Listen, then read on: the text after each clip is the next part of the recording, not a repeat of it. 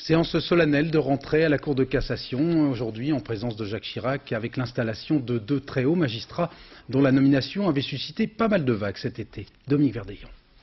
Une présence présidentielle qui n'est pas seulement protocolaire, elle est aussi symbolique. La nomination de magistrats des postes clés avait été l'objet d'une crise politico-judiciaire en juillet dernier. En assistant à l'installation des deux plus hauts magistrats de France, Jacques Chirac veut mettre un point final à cette guerre de succession.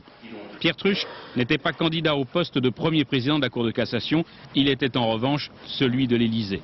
Votre présence, Monsieur le Président, dira Pierre Truche, est le signe d'une attente que je m'efforcerai de ne pas décevoir. Libérant le poste de procureur général, Pierre Truche permettait la nomination de Jean-François Burgelin, autre candidat du pouvoir politique, autre nomination décriée par certains magistrats qui dénonçaient ce jeu de chaise musicale. Alexandre Ben Maclouf, ex-directeur de cabinet de Jacques Toubon, devient le nouveau chef du parquet de la Cour d'appel de Paris. Un parquet important qui a à traiter, entre autres dans la région parisienne, des dossiers politico-financiers délicats.